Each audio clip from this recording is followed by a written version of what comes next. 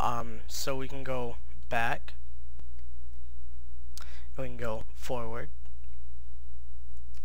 and we can refresh the page,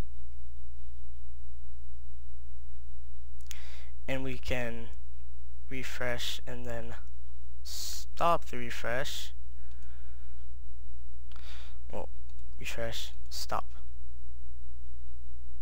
Alright, well it does work, it's just I guess my internet is quick and it uh, won't take time to do that. Um, but if it's a large page like, uh, let's try MSN. MSN.com. Oh, can't do enter, have to press go. Alright, we can stop the page. And the page is stopped. So, um, that's cool. If you don't want to uh, press the play button in order to do this all the time and you want to make um, your own application file or a .exe file, this is how you do it. You're going to go to File and you're going to save all and you're going to save it anywhere. I just usually save it to my uh, desktop.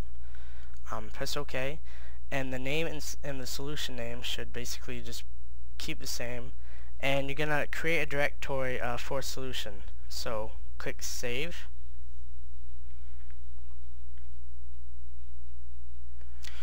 Okay, so uh, that's saved, and now you're going to want to build the web browser. So we're going to click on Build and Build Web Browser.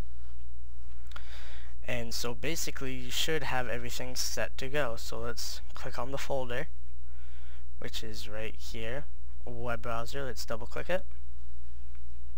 Go into the web browser folder, click on bin, debug, and here it is. Um, you can make a shortcut to it that's what I'm gonna do.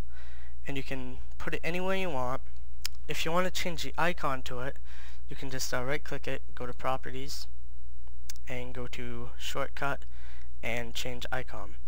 Um, by default, you're not going to have any icons to select from, so we're going to have to do that manually. You got to go to Browse, go to your computer, click on your C drive, and then click on Windows, and we're going to go into a folder called uh, shell. Yeah shell. Uh, let's look for that. Uh, no system32 sorry about that. Click on system32 and now we're going to look for the file shell32 shell32.ell uh, .dll um, click on that and then click open. Now it's going to give you a huge amount of uh, different files that you can use. Uh, we'll just uh, use this globe click OK, apply, and OK. Uh, and now you can rename it to your web browser name. I'll name it PC Web Browser. And here you go. Uh, now you have your web browser set, and if you click it, you can now launch it. And as you see, it is a functioning web browser. Although it doesn't have uh, the advanced uh, web browser um, tools in it, uh, you can still use it.